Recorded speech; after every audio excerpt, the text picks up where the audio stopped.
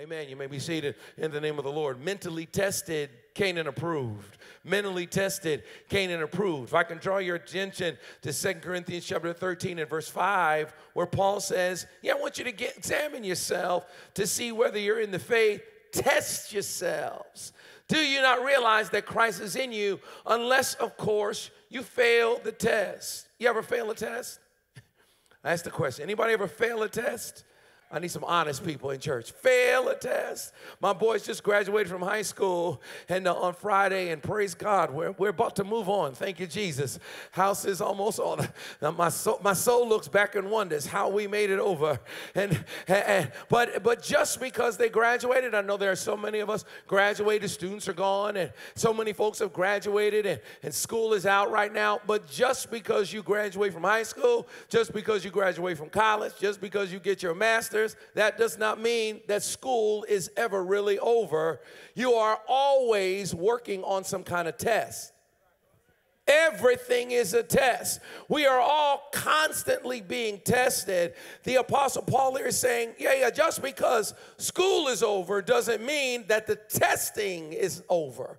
As a matter of fact, School is a groove. It's something that I say to people all the time. When you graduate from high school, don't, oh, I'm going to take a year where I'm going to work. I don't know. You might, you might need to jump right in because school is a groove. Hey, you need to be used to being asked and examined and tested. I, I'm, I'm done my undergrad work and now I'm done. Well, you better be careful because if you leave from your undergrad work for too long, once you, I know if, you, if you've ever tried to go back and now you're back in there trying to get your brain around reading what folk are telling you to read and doing what folk are telling you to do. It's just a groove that you are in. It is a good idea for all of us to have in our minds that the tests don't really end. It's something I say on a regular basis that everything is a test. We are constantly being tested. School is never really over. Everything is a test. As a matter of fact, even the challenges, even the difficulties, even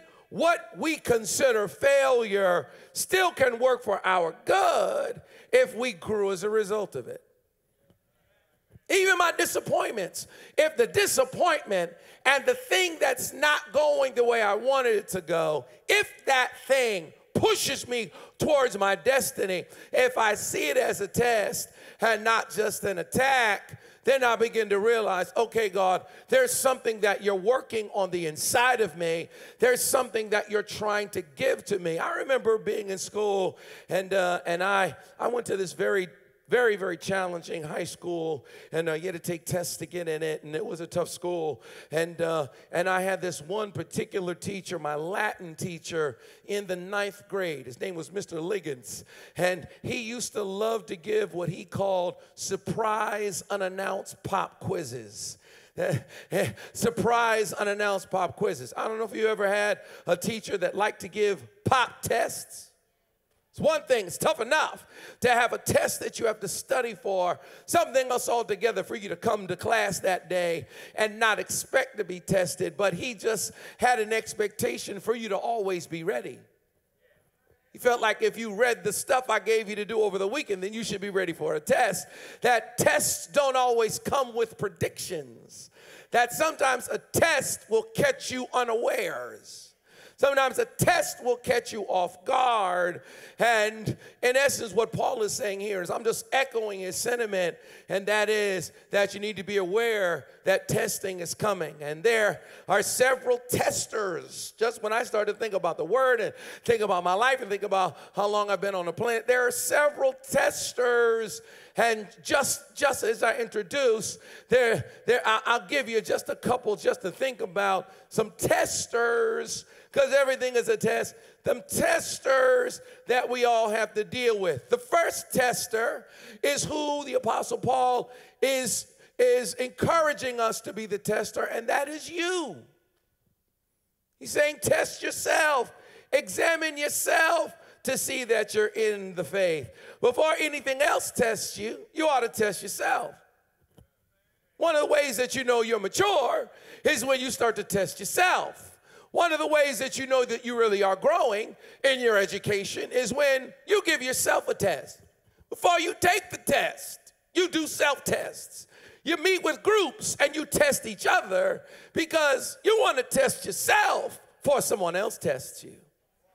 So there is a test that you give to yourself. You gave a test to yourself this morning. I can tell just by looking around that you gave yourself a test. You looked at yourself in the mirror, hallelujah, to test to see did you look right? You test yourself to see do you think right? You test yourself to see if you smell right. God help us, Holy Ghost. My dad used to say that if you can smell you, you really do smell.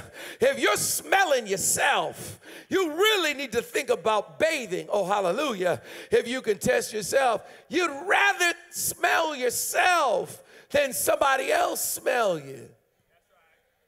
That there's something about testing yourself, and a sign of maturity is when you give yourself a test and you ask yourself, Am I really in the faith? Is my faith really where it ought to be? Am I really thinking the way I ought to think? Am I really in the right place? That I'm not just so uh, just so con- convinced of my own superiority that I actually have enough humility to question myself and ask myself that. Do I really know what I'm doing? Am I really a good parent? Am I really a good husband? Am I really a good friend? Am I really a good member? Am I really a good worker? Am I really a good employee? Do I have to wait for the review to find out if I'm a good employee? Or am I looking at myself and judging myself and testing myself so that I will be aware of it? The first tester is you, and you ought to test yourself. Second tester is people.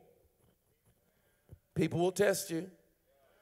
Live long enough, folk will test you. People will test you. People in life will test you. Your parents will test you. Your friends will test you. Your teachers will test, test you. Your coach will test you. Your children will test you. Find out how saved you are when you get around people. Find out how much you really know the Lord when you get around people. People will test you. You find out how much patience you have when you get around people. You're not that saved if you can only be saved around saved people. And so, certainly, people will test you. I don't know why everybody's being so quiet. Y'all ain't even ate no ribs yet. That's tomorrow. People will test you. Folk in your life will test you.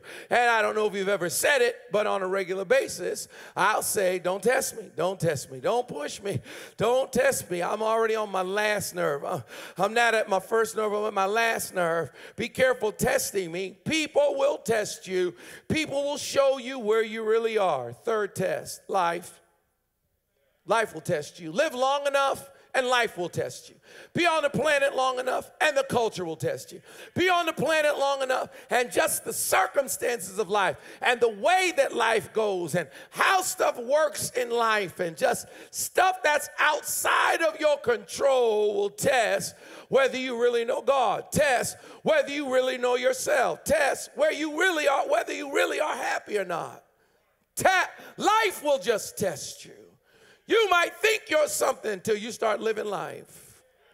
That's why when somebody 20 is talking to me, I'm like, just keep on living, baby. Somebody 30 talks to me, I'm just like, just keep on living, baby. Somebody 40 talks to me, I'm like, just keep on living, baby. I'm 50. Somebody 60 said to me the other day, you just got to keep on living. You ain't seen nothing yet till you lived a little bit longer. You think you know what you're talking about till you get another 10 years. And then life has a way of teaching you some things about yourself and about the world. Life will test you and you will have to fight just to get up every day. And the devil is a liar that would try to make us give up on life. I was reading an article the other day that was talking about how high the suicide rate is in America right now, and how especially the suicide rate is growing amongst women in America. Mostly it's, it's been men that have been committing suicide. I rebuke the spirit of suicide in the name of Jesus because life will test you, but you got to get back up. Keep on running, keep on pushing. In this life, you will have trouble, but that life will test you, and you have to keep going. But life will give you a test. Number four, I'm just this is just appetizer. It's not even the main thing. Number four, the fourth thing, fourth thing that will test you, the devil. I wanted to put the devil in all small letters. The devil, everything else was in caps, but the devil is in small letters because I don't want to give him any more glory than he already takes for himself. But the devil certainly will test you. The enemy certainly will test you. We wrestle not against flesh and blood, but angels and principalities and powers. And the enemy certainly will make circumstances. I don't know if you're at a situation now where you're able to say, now that's the devil. That is the devil. That right there, that was the devil. That is the devil. I've come to the understanding that there is a demonic attack against your destiny. There's a demonic attack against the church. There's a demonic attack against my family. There's a demonic attack against the marriage. I was talking to a couple just the other day, and I was saying to them, You got to stop fighting each other and fight the devil. Enemy don't want nobody married. He wants, wants to wreck everybody. He understands the blessing that marriage can be. And if you're if you can't get over the, the issues with each other and focus on the attack, that's the, the enemy is testing you. And one of the best teachers and one of the greatest testers is the enemy. It is the devil. Not just the devil, but your enemy. Your enemy can teach you almost more than anything else about yourself. Sometimes we only judge ourselves by what our friends say. We only judge ourselves by what our mamas say. We only judge ourselves but what, by what the people say who like us. But I would suggest that you listen to your enemies just a little bit because your enemies can teach you about your weaknesses just a bit. And you do need to hear what they have to say and how they're going to. You can't just work on just what you see. You got to listen to what the enemy is saying just a bit, not to let it rule you, but for it to actually form you and shape you so that you can be ready for what God has for you. And then number five, five, E, the, the last one I'm trying to get to, the one who's testing you is God. God is watching. I'm excited that God is watching me. I understand that God is loving. I understand that God is merciful. I understand that God knows. But I also realize that because He's watching, because He loves me, because of His mercy, because He knows me, He knows what tests to give me. He knows what I don't know. So he knows what I need to be working on. And so he knows exactly how to give me the tests that are the answers that I don't have. I don't know if you've ever taken a test in school and you just didn't know for whatever reason the stuff you studied was not what was on the test. God help us. Good teachers gave you a study guide but i don't know if you ever if you studied it and when you got to the test and you just so ready to take the test my sons uh, were took ap calc. And so when they took the i guess the ap calc exam i said how did it go son? He said man that first half of that test i was on it. He said but that second half of that test i didn't know nothing that was on that there's nothing worse than them giving you a test and it has the exact stuff on it that you didn't study. The Lord knows exactly what you know. He knows exactly what you don't know. He knows exactly where you are. He knows exactly what you need. And He has a way of giving you the tests that bother you the most. Anybody have a teacher that called on people that didn't raise their hand? Oh, help us, Holy Ghost. You want to kill those teachers. You're just sitting there, just trying to keep your head down, acting like you're studying, and they call on you. Yeah, Mr. Thompson, we haven't heard from you all day. They know that you don't know. They're not, they're calling on you because you don't know. If you had known, you'd have had your hand up, but they know you don't know. Call you up to the board to do the problem and you don't know what you're doing. God has a way of knowing exactly what's going on with us, and God is going to put us in situations that make us stronger. And, and I'm come to that understanding in my life that the Lord is not going to leave me alone. I said, The Lord is not going to leave me alone. I trust that's not a prayer you're praying. Like, Lord, can you just leave me alone? Lord, can you just stop bothering me? Lord, can you just stop sending folk my way to make me mad? Lord, and uh, the Lord's like, No, I'm sending folk your way who make you mad so that eventually they will make you mad. I'm trying to work some patience in you and I'm trying to work some perseverance in you. And I'm saying, Lord, I hear you, but but why am I taking this test again? I'm taking this test again because I failed it the last time. I know I'm not the only one that got cut back. I am in the fifth grade again. I'm looking at the, I got all new friends in the fifth grade. I was supposed to have moved on from this, and I done got cut back. Because the Lord knows the stuff that I need to keep working on. In Numbers chapter 13, God gives the children of Israel a test. Canaan is our theme for the year. And if you're aware of the children of Israel and their battle for Canaan, you know that in Numbers chapter 13 and in Numbers chapter 14, they rebel. The first group that God promised to take into Canaan didn't make it. And these two chapters here are the pivotal moment of them not making it. It's one of the scariest things about God that God can make you a promise, but if you're not careful, you'll disqualify yourself from it. That the first group that God promised land to, and property to, and Canaan to, didn't actually get to walk in it. It was a test. It wasn't Moses deciding to do this. It was the Lord who said to Moses, I want you to send some spies into the land and see what's going on over there. It wasn't Moses' idea. When I first read this, I was thinking, man, whose idea was this? From I never really read the verse. And they gave it, they, if you see it, they gave it its own verse, verse one. It's just a very short verse in which it says, Then God said to Moses, God said it just for, for folk to know wasn't Moses who said, hey, let's go see what it is. No. Then the Lord said to Moses, hey, let's test where everybody is. We're about to fight a battle. Let's give everybody a test so that they can see where they are. We know that God knows. We know that God knows our thoughts are far off. And so, for the Lord, the omniscient one, to say to Moses, I want you to send spies into the land. That ended up being disastrous. They ended up spending 40 years in the wilderness because they failed this test, what I'm calling the Canaan test. Can you own outright? The Canaan test. Can you own outright? Meaning, can you own and don't owe nobody on it? Speaking this over all of us in the name of Jesus. Can you own your car and don't nobody own it but you? Hallelujah. Can you own your house and Wells Fargo ain't got nothing to do with it? Can you own your property and you're not dealing with any lender? Can you be the lender and not the borrower? When I'm talking about Canaan, I'm not just talking about spiritual stuff, I'm talking about ownership.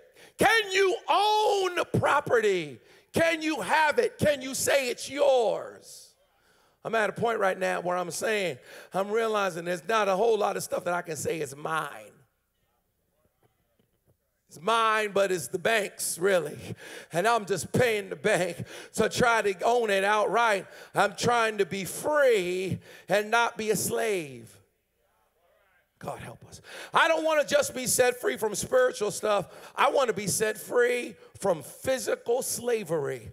I don't want to give all that I make to someone else for them to be wealthy.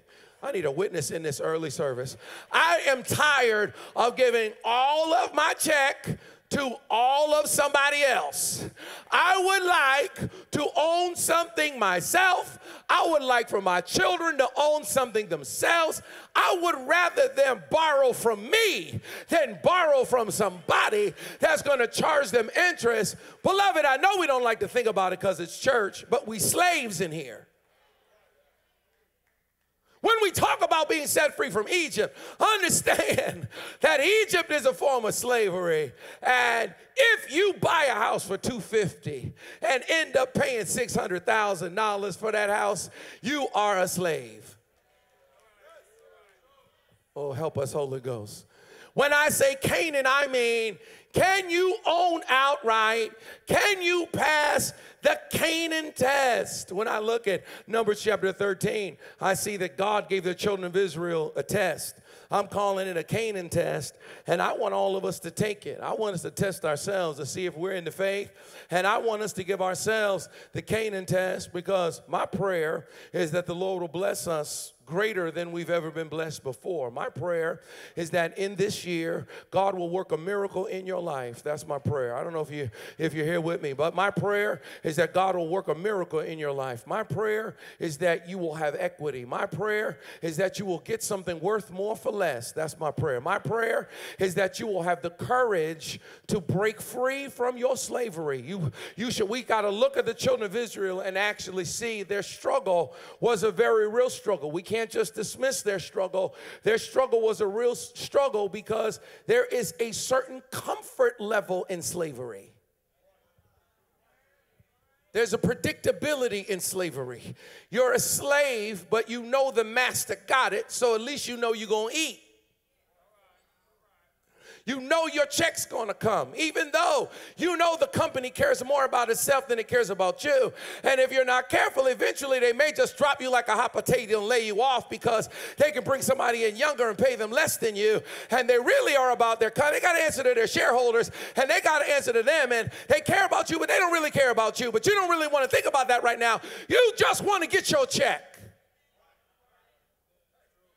And the, the idea of owning or having your own thing or working for yourself is a scary idea, but it is a Canaan idea. And I don't think we ought to be the people of God and worship the Lord and praise God and not be determined to break free from Egypt.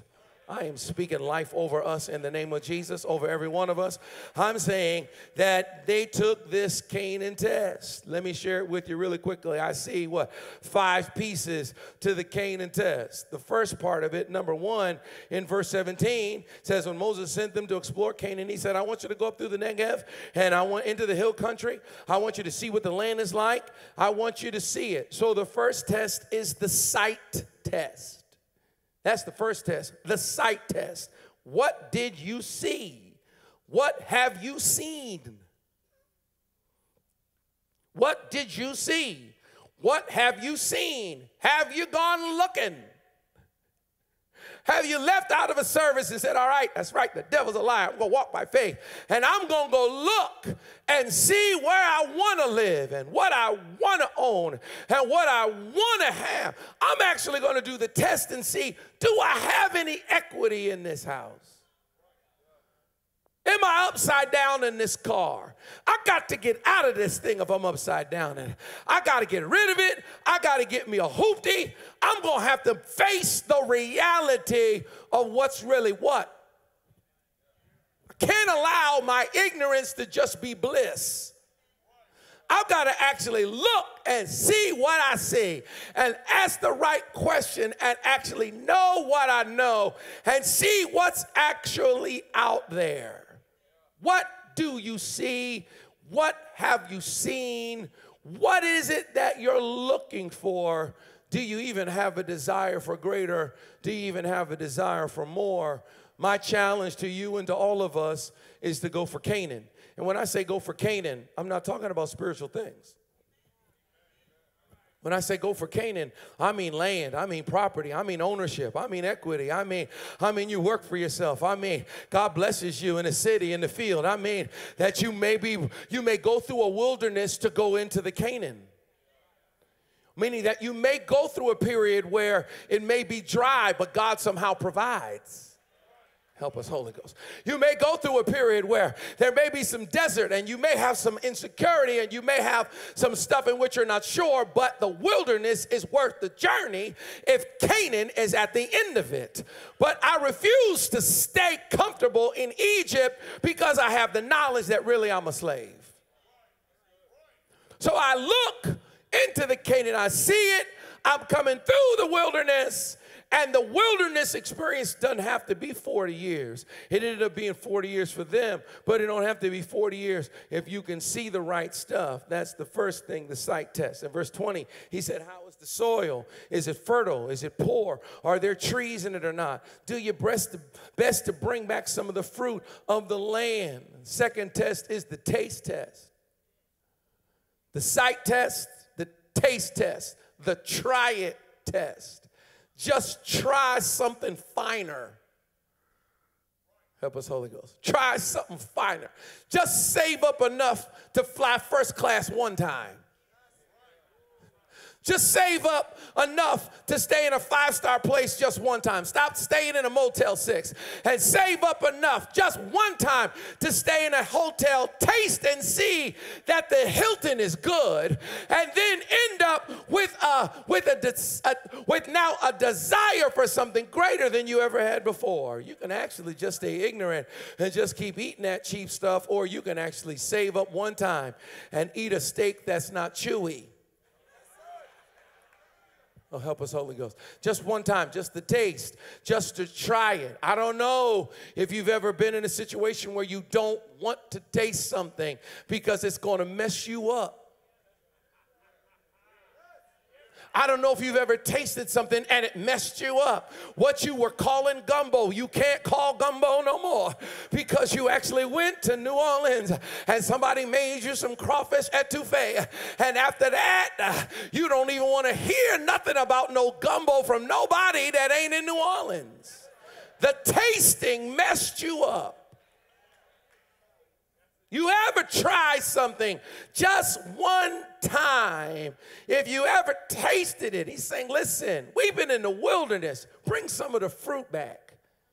You think that they brought that fruit back without tasting it first? Don't nobody get around a grape without tasting it. Oh, I wish I had a witness in the building. If you're in this room and you buy grapes at the fruit stand or at the grocery store and you don't taste one of them grapes, you are saved at a whole nother level. If eating one grape is stealing to you, may God bless you and keep you. May his face shine upon. I'm going to taste one of them dirty grapes before I buy a whole bunch of them nasty. There's no way I'm not going to taste a dirty grape. There's no way they didn't taste it. I'll pop open that little case of blueberries and taste one of them dirty blueberries in there before I buy a whole pint of sour lemon blueberries. What I'm saying to you is that I'm going to taste it and see. You ever go into like a Harris Teeter or something? Excuse me, Harris Teeter, y'all, is a grocery store here in North Carolina where God lives. You ever go into a Harris Teeter and they got the thing in there where you're just supposed to taste it and you just you just pile your hand up anyway. taste and see that the thing is actually good. Can you even dare to taste it? Can you even dare to try it? I was in a store, I was in California, and I went into a store, and I went inside the store, and they had some shoes in the store that cost a thousand dollars, a thousand dollars for a pair of shoes. And I was with somebody, and they were like, "Yo, man, you want to try a pair on?" And I said, "No, I do not. The devil is a lie. Are you? You better get out of here. What if them thousand dollar shoes start rubbing my feet? What? For all I know, these hundred dollar shoes feel good to me." I don't need no thousand dollar shoes messing my whole shoe game up. What I'm saying is, is that there is a tasting that is a part of the test. There is a trying it that's a part of the test. And some of us can be just so scared. I know I've been there where I'm almost narrow minded because I'm afraid if I try that thing, it's going to cause dissatisfaction with what I've always been all right with. He wanted them to be dissatisfied. He sent them in there to taste it and see.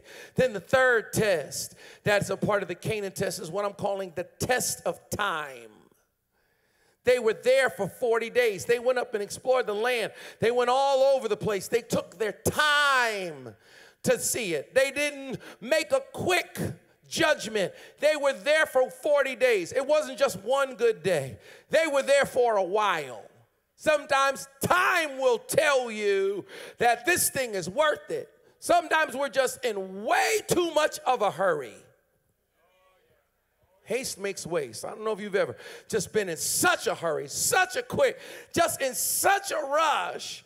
I, I come to the understanding that there's a testing of Canaan in which I got to take my time and really evaluate do I want to live here? Is this the neighborhood for me? Is this the company that I want to work for? I've got to take some time and really examine it because I've come to the understanding that if I make the decision too quickly, I may lose confidence in the decision later on. So they actually took some time, and a part of this Canaan test is the test of time. Then number four, which is the hardest test for all eh, of all, and it's where they failed and it's where a lot of us fail, is what I call the risk fear analysis test. Verse 28, they said the people who live there are powerful and the cities are fortified and they're large. And we saw descendants in Anak there. The Amalekites living in the Negev, the Hittites, the Jebusites, Amorites live in the hill country. Canaanites live near the sea along the Jordan. We can't attack those people. They are stronger than we are. I don't know what they thought was going to happen when they got to Canaan. If the land is good and flow with milk and honey, then there going to be people there. There are going to be good people there. There's going to be big people there. The question is is your risk worth your fear? It's the risk fear analysis test. You judge and then you decide is it worth the risk? If you think that you're going to get saved or give your life to the Lord or have a relationship with God and have no risk, you got another thing coming. Risk is a part of life. You got to ask yourself, yeah, but is the risk worth the reward though? Yeah, this may be a risk, but what will I get if I fight the giant? What exactly do I get? David fought Goliath, but he didn't fight him for free.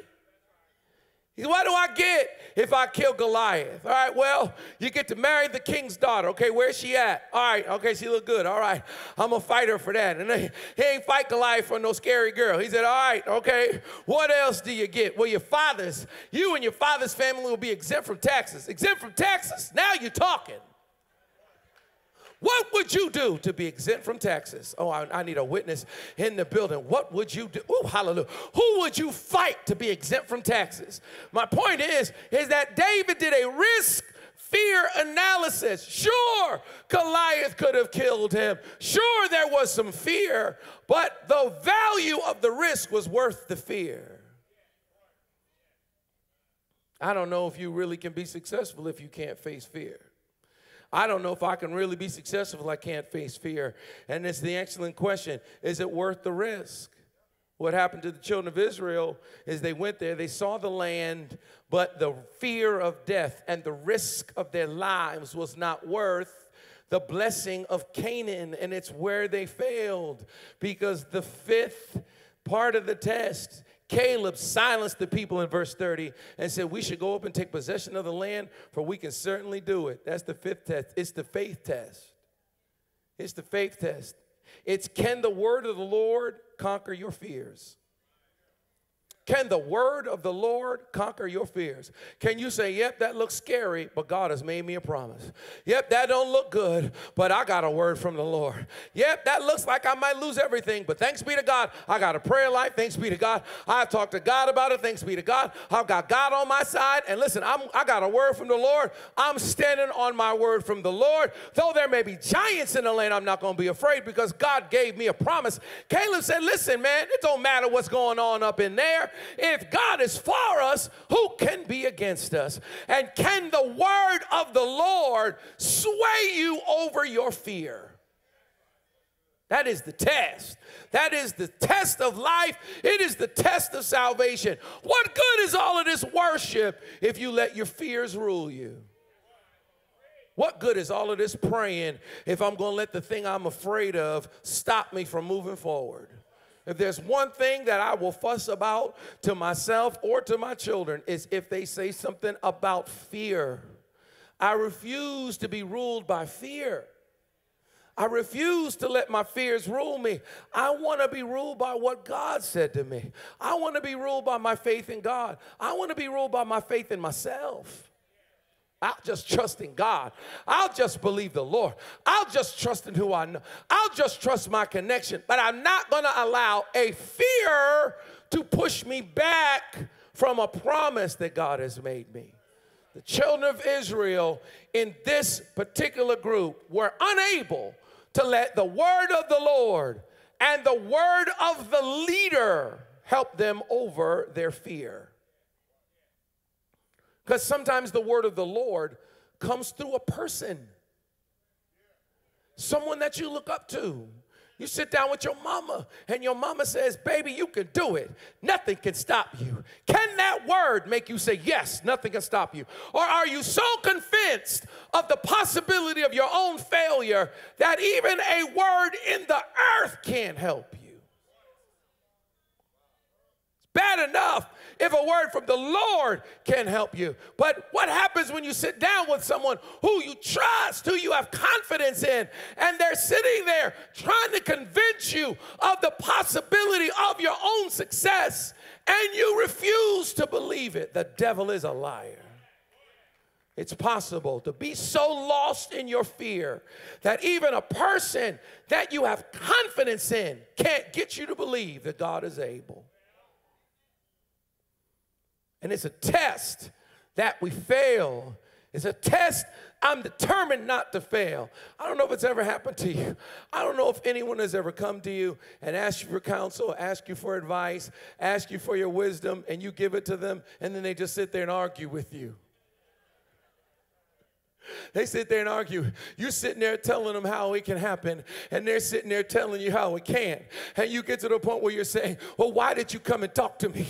Why did you even call me? If all you wanted to do was argue with me, I didn't come here to argue with you. I came to tell you that if God is on your side and you look like a winner to me, and it seems to me like God can make a way, and it seems to me that God is able, and you want to be careful that if a man of God, a woman of God, someone that you know to have confidence in God and a relationship with God, someone that you trust and believe in. If they speak a word to you, you have to be careful to give up on that word. You have to be careful not to give up on that word because you're almost at your last leg if someone in the earth can't say something to you. Good God. It's one thing for you to feel like the Lord spoke to you. Very few of us have actually heard an audible word from the Lord. Most of the words I hear from the Lord are in my heart. I, am hearing the Lord and I'm saying, well, I think the Lord is leading me here. And the Lord is saying this to me. But but if, if beyond just the, the inaudible word of the Lord, if somebody in my life that I have confidence in, says to me, Surely you can do it, and I still walk out of there and don't do it, then I really have to examine myself to see if I'm really in the faith. And I can preach about that because I've been there. I've been there where someone I believed in and had confidence in told me what to do and told me how it would work. And I said, Thank you very much. And I left and did not do what they said. I know I'm not the only one. I left and was like, well, that, that, was nice, but they don't know my situation. That was nice, but they don't know what's going on with me. That was nice, but they got money I don't have. That was nice, but they got stuff. My situation is different. They in Dallas, I'm in Durham. My situation is different. They're in Texas, I'm in North Carolina. Their, their situation is different. I made all the excuses. I went to get counsel and didn't take it. And I'm back here at the same grade Good God, save us from 40 years in the wilderness. Stuck in the in between place because I could not trust the counsel of someone that I said I respected. That I understand that the test of Canaan is so serious because it's bigger than just spiritual things. It is dependent on our response. It's one of the most challenging things in all the Bible. You can get all kinds of stuff as a result of what Christ did for you at Calvary. There's all kinds of gifts that will come as a result of the baptism of the Holy Spirit. There's all kinds of blessings that can come over you through prayer. But if you're going to take possession in the land, you're going to have to pass some tests. Oh, help us, Holy Ghost. If you're willing and obedient, you'll eat the best of the land. And I've been around saints my whole life who had amazing prayer lives, but in the land, they had no possession. So, nobody want to say amen on that one. They had no possession because the, the possession test is different than the salvation test. In salvation, you can come to God just as you are without one plea. But if you're going to take possession of some property, then you're going to have to get yourself together and get your thinking together and get your mind right and see right and taste right and hear right and walk right and believe right and trust right. Because there is a possession power that you can't fake. There's a possession power that comes as a result of the test. I want to be mentally tested and Canaan approved. I've come to the understanding that it's not just enough for my spirit to get together. If I'm going to take possession of the land, then I got to get my mind together. Let this mind be in you that was also in Christ Jesus. Let this mind be in you that was also in Christ Jesus. Lord, help us to think right thoughts. Lord, help us to think the right stuff, see the right stuff, and taste the right stuff, and, and do the right risk fear analysis. Lord, overwhelm us with your power so that our minds will work right. Not just our spirits, but our minds will be fit to take possession of the land. Lord, make it so. Lord, make it so everyone that's watching. Lord, make it so over everybody in the room. God, I thank you now for making us the head and not the tail, above only and not beneath, always at the top, never at the bottom. Thank you for the plan you have for us. Thank you for your anointing that destroys the yoke in us. Have your way in us. In Jesus' name. We all sit together. If you heard a word from the Lord, put your hands together. Bless the Lord real quick. Come on, put your hands together. Bless the Lord.